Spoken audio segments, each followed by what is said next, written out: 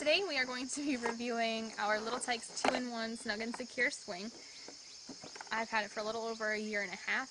I have two little girls, two and one, and they both love it, so it has worked for us. I like that it has these hooks that make sure that they're not going anywhere. I like that a lot.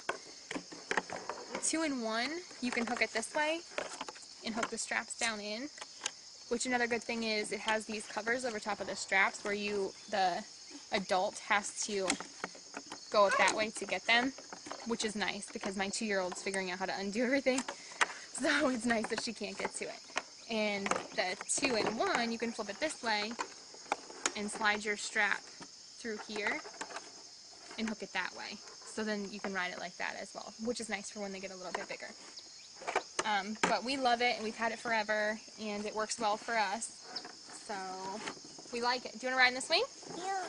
Yeah?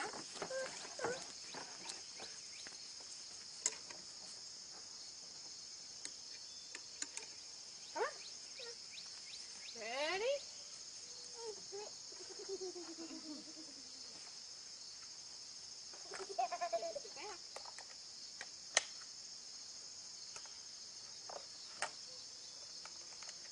Ready?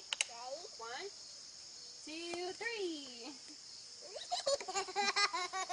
And that's it. We love our little Tyke Snug and Secure swing, and it gives me peace of mind that they're not going anywhere. And she loves it. Do you love the swing? yeah. Yeah.